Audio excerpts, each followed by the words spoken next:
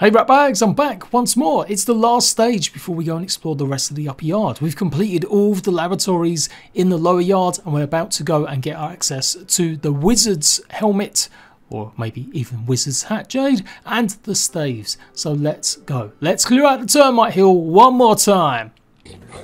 Oh, hello. What are you doing?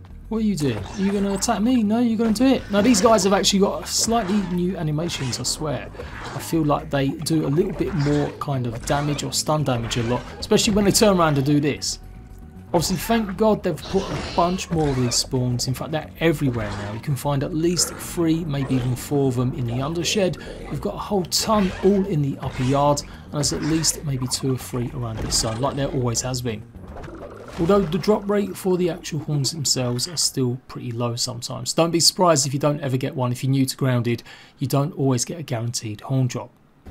Alright, time to take out the termites. Ah, these guys, I'll just take up all your stamina. This isn't a proper guide, it's me basically narrating over my live stream because I forgot to record my actual voice during it, which I was going to use for a later episode.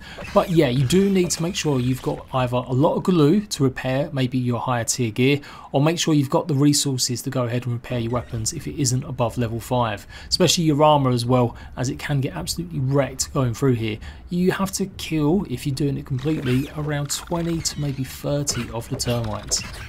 Obviously bring something with salty on it, like the mace is probably a good one since you might have upgraded it already. Otherwise, something with stabbing is equally as good. Don't use your spicy weapons or any kind of slashing. So what's changed? Well, there's a few more upgrade rocks added, and yes, there's obviously the brand new chip that gives you access to the wizard's hat and the wizard's staffs or staves. Uh, it's not actually a brand new chip, they've just changed around the order of stuff. But yeah, don't forget to go and explore all around the outside areas. Right, in we go. Let's go and see what else there is. So yeah, a bunch of upgrade materials. They should stack now to like 99. When I recorded this though, it was still only 35 max limit if you'd upgraded all your milk molars. So you should be having it a bit easier to carry all of the upgrade shards and rocks now. Like I said, this isn't a full-blown guide because I've done this a bunch of times. It's actually missing the raw science that you would have got there as well. But yeah, I'm going to point out some pointers. Uh, so we've got to get to the top. We'll go up here. That's the other aspect as well. There is a bunch more rust in here now as well. You'll find lots of the nails and they can drop rust. Although sometimes they don't always drop an actual rust amount. So here we've got another upgrade rock. Get this one. They've opened up a new path. You can actually get directly onto the deck area now underneath this bit of wood. So that's brand new. There used to be some sort of jump across that you needed a tuft to really get across. Just underneath a little gap here as well, there's some more of the sturdy quartzite. My tuft is about to run out, just about enough to get here and go through the termite hill from this way. Yep, more termites.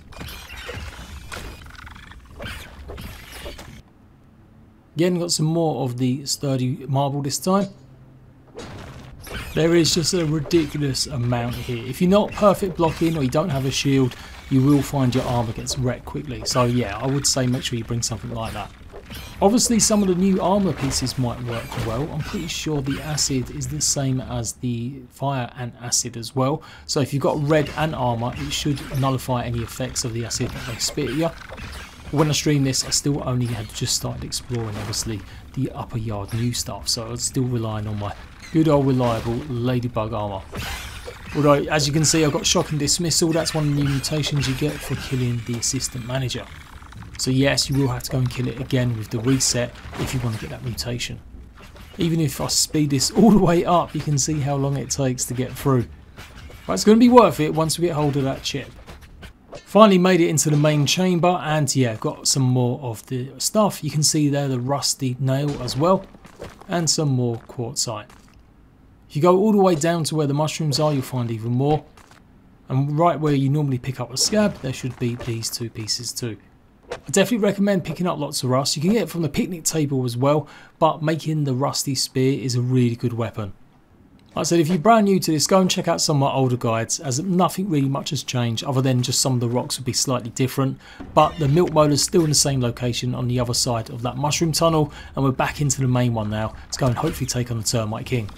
But don't forget also about the tunnel that goes up to the tarpaulin. You will also find some more upgrade rocks there and some more rusty nails. Now the Termite King does or is meant to respawn. And you've got to think carefully about what you're going to make now. Normally, yes, you go straight for the tier 3 axe, which you're still probably going to have to do. But obviously now you can make the wizard's hat instead of just maybe making the chest piece. If you're someone that really wants to gather loads of resources to build, then the chest piece is going to be good. But for sure, now we've got the Wizard's Hat, I would say go for that instead to play around and see what it's like, especially when you do go ahead and find the actual stuff to make a stave. Now the staves, the staves are pretty hard though, you can't make all three of them straight away, you're going to need some advanced materials, especially for the one that gives stun damage or is made out of sour. It shouldn't be too hard to go ahead and make the first one, the fire one. All we got to do is go and find some fire ants to kill. So there we go, killed the Termite King once more. There is some tier 3 quartzite in here as well, and even more of the regular upgrades tier 2s. So we picked up the chip and we're pretty much done. I headed up to the top of the tarpaulin to see if there was any changes up here, and I definitely noticed some upgrade rocks hidden beneath the wood or around the back near the can.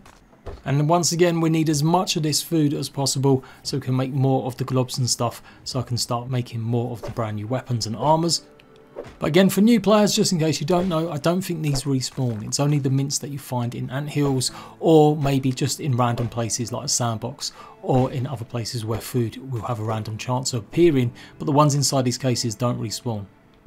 And that's pretty much it. There's no real big changes. Otherwise to say as well, there's no more rocks in that big basket on the bike. That was something they'd added, but it's been removed. So it seems like all the rocks have been put in other places. Either in the new Termite Hill, which I've shown you guys already, a small guide. There's a brand new location to go and get some of the rocks as well as a milk molar. And yeah, just showing you off the final few places. I'm looking for the bag that's got the scab shells in it. Oh, one note you should realise is the spiderlings obviously underneath the tarpaulin, but you have got a chance of running into the new Black Widow spiderlings too. You might notice that some of the egg sacs are now tier 3 and these are the ones that have got the black spiderlings inside.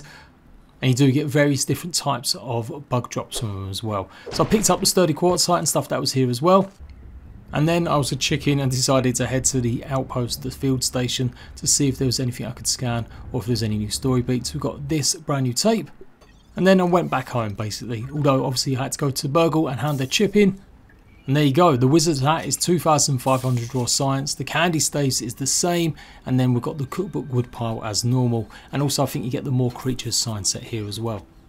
I will be using a lot of the Magician stuff in my Let's Play videos in the future, so look out for them. And then yeah, I had to go and craft it. 10 berry leather, 3 crow feathers and 4 of the termite king carapace. So yeah, you will have to probably wait until the respawn before you can maybe go ahead and craft a axe as well. But luckily I already had one since I'm an OG grounded player.